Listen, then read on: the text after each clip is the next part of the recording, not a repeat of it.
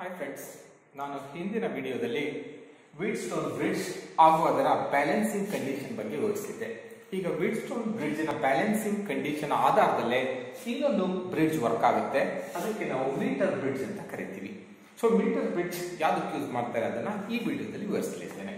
So metre bridge ಅನ್ನೋದು simple operators ಈ ರೀತಿ ಇದೆ this operators is use to determine unknown resistance of a wire ಯಾವುದಾದ್ರೂ ಒಂದು ವೈರ್ ಇದ್ರೆ ಮೆಟಾಲಿಕ್ ವೈರ್ಗೆ ಅದಕ್ಕೆ ಸರ್ಟೆನ್ ರೆಸಿಸ್ಟೆನ್ಸ್ ಇರುತ್ತೆ. ಅದರ ರೆಸಿಸ್ಟೆನ್ಸ್ ವ್ಯಾಲ್ಯೂ ಎಷ್ಟು ಅನ್ನೋದ ಅಕ್ಯುರೇಟ್ ಆಗಿ ಈ ಡಿವೈಸ್ ಇಂದ ಯೂಸ್ ಮಾಡಬಹುದು ವಿಡ್ಸ್ಟೋನ್ ಬ್ರಿಡ್ಜ್ ಅಲ್ಲಿ ಮೂರು ರೆಸಿಸ್ಟರ್ ಗೊತ್ತಿದ್ದಾಗ ಒಂದು ಗೊತ್ತಿರೋದಿಲ್ಲ ತಾನೆ? ಅದು ಗೊತ್ತಿಲ್ಲದೆ ಅನ್ನೋನ್ ವೈರ್ ಅದರ ರೆಸಿಸ್ಟೆನ್ಸ್ ಅನ್ನ ಯಾವ ರೀತಿ ಕಂಡಿಡಿದ್ವೋ ಅದೇ ಸೇಮ್ ಪ್ರಿನ್ಸಿಪಲ್ ಈ ರೀತಿ ಅರೇಂಜ್ ಮಾಡ್ಲಿಕ್ಕೆ ಆಗಲ್ಲ ನಾವು ಒಂದು ಬೋರ್ಡ್ ಮೇಲೆ ಫಿಕ್ಸ್ ಮಾಡಿದ್ವಿ. ಇದು Wheatstone bridge Wheatstone bridge ಅನ್ನ ಈ ರೀತಿ ರಿಅರೇಂಜ್ ಮಾಡಿದ್ವಿ. ಈ ಅರೇಂಜ್ ಮಾಡಿರೋದಕ್ಕೆ ನಾವು ಮೀಟರ್ ಬ್ರಿಡ್ಜ್ ಅಂತ ಕರಿತೀವಿ. ಸೊ ಮೀಟರ್ ಬ್ರಿಡ್ಜ್ ಅನ್ನೋದು it's a device use to determine unknown resistance of a wire so metre bridge ಅಲ್ಲಿ ಏನಿರುತ್ತೆ? ಕನ್ಸ್ಟ್ರಕ್ಷನ್ ಇದೊಂದು ಬಿಗ್ ವುಡನ್ ಬೋರ್ಡ್ ಇದೆ ಎಲ್ಲೋ ಕಲರ್ ಅಲ್ಲಿ ಹಾಕಿದ್ನಲ್ಲ ಇದು ವುಡನ್ ಬೋರ್ಡ್ ಈ ವುಡನ್ ಬೋರ್ಡ್ ಮೇಲೆ ಎರಡು ಎಲ್ ಶೇಪ್ಡ್ ಮತ್ತೆ ಒಂದು I shaped thick metallic strip ಗಳನ್ನ ಫಿಕ್ಸ್ ಮಾಡಿದ್ವಿ. It consist of two L shaped and one I shaped thick metallic strips ಪಟ್ಟಿಗಳು, ಮೆಟಾಲಿಕ್ ಪಟ್ಟಿ ದಪ್ಪರವು ಇವನ್ನ ಈ ಬೋರ್ಡ್ ಮೇಲೆ ಫಾರ್ಮ್ ಆಗಿ ಫಿಕ್ಸ್ ಮಾಡಿದ್ವಿ. And a uniform wire of length one metre is structure tight and fix to the point A C. A C ನಡುವೆ ಇದೆಯಲ್ಲ blue colour this is a uniform wire of length 1 meter. A uniform wire of length 1 meter is stretched tight and fixed to the point AC.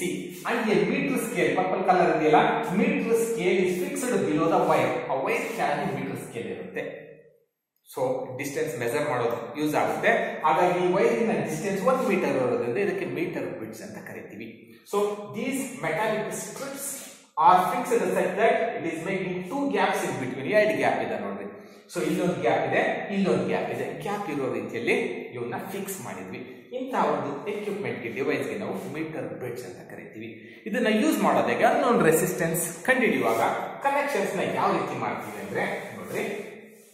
The the unknown resistance, which is to be determined, is connected to the left gap ಇದು left gap ಇದು right gap ಈ left gap ಗೆ unknown resistance wire ಅನ್ನ connect ಮಾಡ್ತೀವಿ ಇದರ resistance ನ ಕಂಡುಹಿಡಿಯಬೇಕಾಗಿದೆ let us its value is R and a standard resistance box is connected to the right gap this is a standard resistance box S is a standard resistance box, is connected to the right gap. Standard resistance box ಅಂದ್ರೆ ಇದು ದೊಡ್ಡ box ರೂಪದಲ್ಲಿ ಇರುತ್ತೆ. ಇಲ್ಲಿ keys ಇರ್ತವೆ. ಪ್ರತಿಯೊಂದು ಇಲ್ಲಿ connection ಮಾಡಲಿಕ್ಕೆ ವೈರ್ ಇಲ್ಲಿ ಕನೆಕ್ಟ್ ಮಾಡಿದಿಲ್ಲ ದಿಸ್ ಇಸ್ ದ ವೈರ್ ಇಲ್ಲೆಲ್ಲ ಕೀಗಳಿರ್ತವೆ ಇದು one ohm two ohm three ohm ಇರುತ್ತೆ. ಯಾವ key ತೆಗಿತೀರೋ that box offer that much resistance ಹಾಗಾಗಿ ಅದು ಸ್ಟ್ಯಾಂಡರ್ಡ್ ಒಂದು ಓಮಿನ್ ಕೀ ತೆಗೆದೆ ಅಂದ್ರೆ ಇಟ್ಸ್ ವ್ಯಾಲ್ಯೂಸ್ ಒನ್ ಓಮ್ ಎರಡು ಓಮಿನ್ ತೆಗೆದೆ ಅಂದ್ರೆ ಎರಡು. ಒಂದು ಎರಡು ಜೊತೆಗೆ ತೆಗೆದ್ರೆ ಸೀರೀಸ್ ಕಾಂಬಿನೇಷನ್ ಇರುತ್ತೆ ಆಡಪ್ ಆಗುತ್ತೆ these are the series combination of resistors ಇರುತ್ತೆ. ಒಂದು ಎರಡು ಎರಡು ಮೂರು ತೆಗೆದೆ ಅಂದ್ರೆ ಫೈವ್ ಆಗುತ್ತೆ ಈ ರೀತಿ ಇರುತ್ತೆ ಯಾಕೆಂದ್ರೆ ನನಗೆ ಎಷ್ಟು ರೆಸಿಸ್ಟೆನ್ಸ್ ಬೇಕೋ ಅಷ್ಟು ರೆಸಿಸ್ಟೆನ್ಸ್ ನ ಇಂಟ್ರೊಡ್ಯೂಸ್ ಮಾಡಬಹುದು ಹಾಗಾಗಿ ಅದಕ್ಕೆ ಸ್ಟ್ಯಾಂಡರ್ಡ್ ರೆಸಿಸ್ಟೆನ್ಸ್ ಬಾಕ್ಸ್ ಅಂತ ಕರಿತೀವಿ a battery is connected to the point A C ಈ ಪಾಯಿಂಟ್ ಗಳಿಗೆ battery is connected through a plug key meter bridge ಮೀಟರ್ಸ್ಗೆ ಗೊತ್ತಿದೆಯಲ್ಲ ನಿಮಗೆ that is and point B is connected to a jockey via a galvanometer.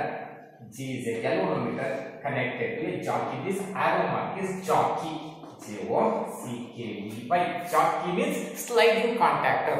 ಆ wire ಮೇಲೆ contact ಇರ್ತಂತ slide ಆಗೋ ಒಂದು key ಅದಕ್ಕೆ ನಾವು jockey ಅಂತ ಕರಿತೀವಿ say this point is key ಅಂತ ಅನ್ಕೊಳ್ತೀವಿ so this is the circuit connection to find unknown resistance of this wire ಇದರ ರೆಸಿಸ್ಟೆನ್ಸ್ ಕಂಡುಹಿಡಿಯಲಿಕ್ಕೆ ಈ ರೀತಿ ಅರೇಂಜ್ ಮಾಡ್ತೀವಿ ಸೊ ಇದರ ವರ್ಕಿಂಗ್ ಯಾಕೆ ಯಾವ ರೀತಿ ವರ್ಕ್ ಮಾಡುತ್ತೆ ಅಂದ್ರೆ to find unknown resistance value first unplug a suitable resistance in standard resistance box suitable resistance ಅಂದ್ರೆ ಏನು ಅರ್ಥ ಅಂದ್ರೆ ಇಲ್ಲಿ balancing length ಕಂಡಿರ್ತೀವಿ balancing length should be between thirty to seventy ನಡುವೆ ಇರಬೇಕು.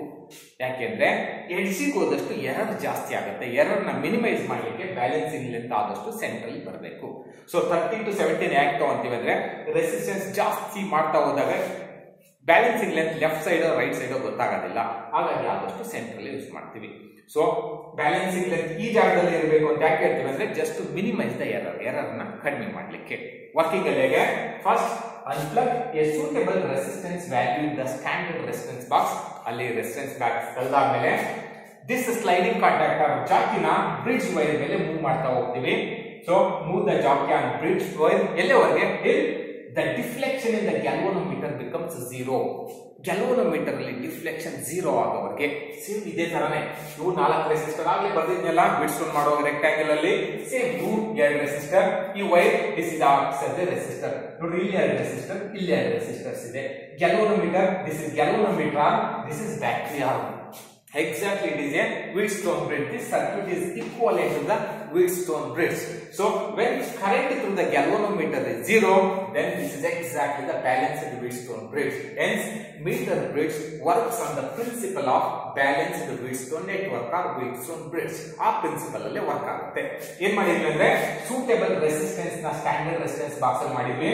ಸೊ ಈ ರೀತಿ ಸರ್ಕ್ಯೂಟ್ ಕನೆಕ್ಷನ್ ಮಾಡಿದ ನಂತರ ಸೊ ಈ ಸರ್ಕ್ಯೂಟ್ ಸರಿ ಇದೆಯೋ ತಪ್ಪಿದೆಯೋ ಚೆಕ್ ಮಾಡಬಹುದು ರೆಸಿಸ್ಟೆನ್ಸ್ನ ಅನ್ಪ್ಲಗ್ ಮಾಡಿ ಸೀದ ಡಿಫ್ಲೆಕ್ಷನ್ ಇಂದ ದ ಗೆಲೋನೋಮೀಟರ್ ನೀವು ಎಂಡ್ ಎ ಕಡೆಗೆ ಸ್ಲೈಡಿಂಗ್ ಕಾಂಟ್ಯಾಕ್ಟ್ ಟಚ್ ಮಾಡಿದಾಗ ಡಿಫ್ಲೆಕ್ಷನ್ ರೈಟ್ ಸೈಡ್ ಇದೆ ಸೊ ಎಂಡ್ ಬಿ ಮಾಡಿದಾಗ ಅದು ಲೆಫ್ಟ್ ಸೈಡ್ ಆಗಬೇಕು. ಆಪೋಸಿಟ್ ಡಿಫ್ಲೆಕ್ಷನ್ ಬಂತು ಅಂದ್ರೆ ಸರ್ಕ್ಯೂಟ್ ಸರಿ ಇದೆ.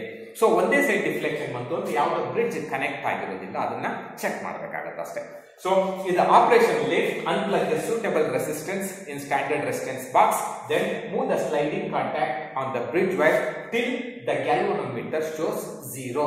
Let D be the point for which galvanometer shows zero. Then D is called balancing point. The length AD is called balancing length. L ಇದು 100 centimetre ಇರೋದ್ರಿಂದ L ಆದ್ರೆ ಉಳಿದಿದ್ದ length 100 minus L centimetre ಇರುತ್ತೆ centimetre ಇರುತ್ತೆ So D is called balancing point and length AD is called balancing length. If RCM is the resistance per centimeter of this wire. Since this wire is uniform, resistance per centimeter is a constant. ವ್ಯತ್ಯಾಸ ಆಗಲ್ಲ. Then resistance of the wire AD is AD wire ಗೆ resistance ಎಷ್ಟಾಗುತ್ತೆ? Resistance per centimeter into its length. ಅದೇ ರೀತಿ resistance of the wire DC ಎಷ್ಟಾಗುತ್ತೆ resistance of the wire DC is resistance per centimetre into its length length is ಎಷ್ಟಿದೆ hundred minus L ಇದೆ so this is the resistance now R S AD and DC acts as four arm of a balanced Wheatstone bridge balanced Wheatstone bridge ನ ನಾಲ್ಕು ಆರ್ಮ್ಗಳ ರೂಪದಲ್ಲಿ act ಆಗ್ತಾ ಇದಾವೆ so now the balancing condition for this bridge is ratio of ratio of resistance in adjacent arm are equal ಇಲ್ಲಿ ಅಂದ್ರೆ r by s adjacent arm ಬೇಕಾದ್ರೆ r by s is equal to adjacent is ಇದರ resistance ad resistance is ad resistance rcm into l divided by dc resistance is rcm into 100 minus l this is the balancing condition of Wheatstone network or Wheatstone bridge. So RCM, RCM cancel. Therefore, unknown resistance R is equal to S goes to the numerator. S L divided by 100 minus L. L is the length in centimeter. So using this formula or relation, we determine the value of unknown resistance R. Simple balanced Wheatstone network ನ principal ಅಲ್ಲಿ work ಆಗ್ತಾ ಇದೆ so ಕೆಲವೊಂದು deflection zero ಆಯ್ತು ಅಂದ್ರೆ this is a balanced Wheatstone bridge so ಅದರ balancing condition ಪ್ರಕಾರ so we get the unknown resistance R is equal to S this is the resistance introduced in standard resistance box balancing length here divided by 100 minus L where L is the balancing length in centimeter so this is the way to know determine unknown resistance of the wire ಇದನ್ನ ನಾವು practical ಅಲ್ಲೂ ಸಹ ಮಾಡಿ ನೋಡ್ತೀವಿ okay thank you